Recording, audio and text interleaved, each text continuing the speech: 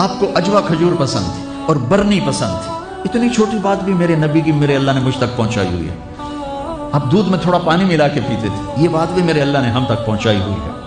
आपको गोश्त में बकरे की दस्ती पसंद थी और गर्दन का गोश्त पसंद